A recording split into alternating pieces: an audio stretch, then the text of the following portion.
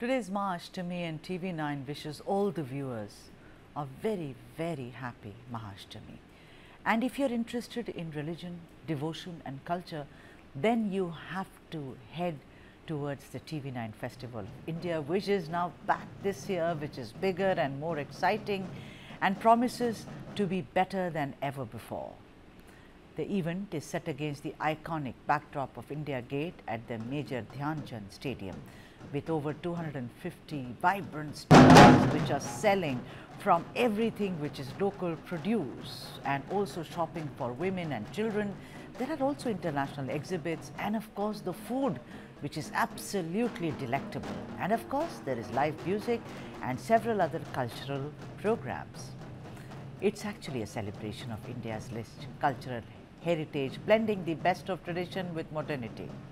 You can expect the grandeur of Delhi's tallest Durga Puja Pandal and an unbeatable shopping experience.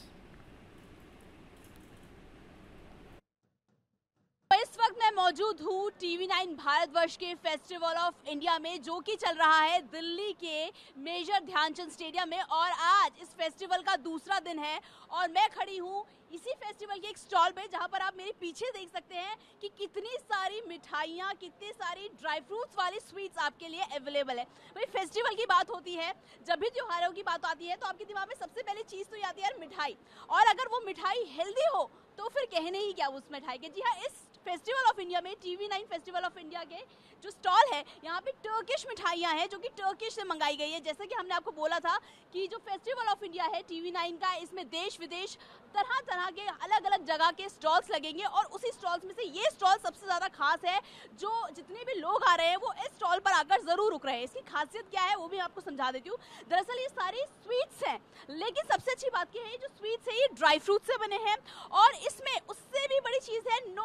Sugar जी हाँ बिल्कुल। आप देख सकते हैं, प्योर प्योर वेजिटेरियन है ये, प्योर वेजिटेरियन साफ़ लिखा गया है। उसके अलावा इसमें बिल्कुल भी शुगर नहीं है। मतलब आपको त्योहारों में आपका वज़न नहीं बढ़ने वाला, मोटे नहीं होंगे, क्योंकि ये हेल्दी मिठाइयाँ हैं।